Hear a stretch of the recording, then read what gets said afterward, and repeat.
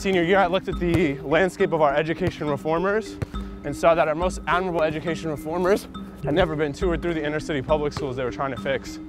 The education I received allowed me to articulate a lot of the systemic issues that I saw as a kid growing up. And so I turned down my full-time offers when I graduated. We've raised over $2 million in, in philanthropy in the last two years.